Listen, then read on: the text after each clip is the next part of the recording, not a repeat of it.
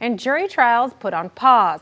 In Jefferson County, many judges opting not to have in-person jury trials for the month of January. Now the reason? Many of their support staff have caught COVID. The hiatus has caused a big backlog in cases. 12 News reporter Gloria Walker tonight explaining why this decision was made and how the delays are impacting people waiting to go to trial.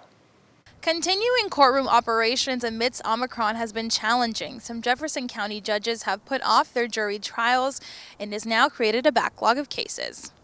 Cases backed up and people awaiting trial. The Jefferson County court systems hit by COVID 19, causing courtrooms to shut down and jury trials to go on pause till the end of January.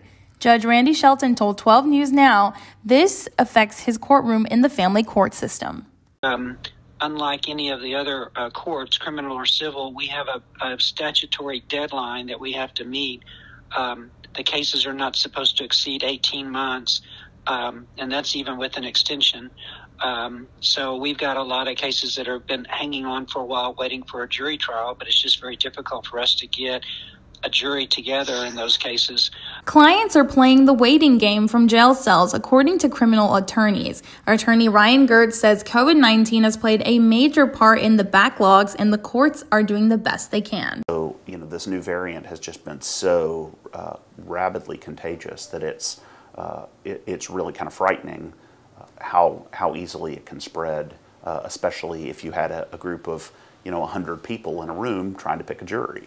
And so uh, that's a real challenge that I think the courts are doing their best to manage. With that in mind, the courts are following the advice of health professionals. All of the courts are, are following the recommendation of the county uh, public health doctor, Dr. Um, Eddy. And, um, you know, he just said that he, he was thinking that we might start seeing a slowing down or maybe a, a you know a de- decline in the numbers. Judge Randy Shelton is hopeful that in-person cases with jurors can take place soon.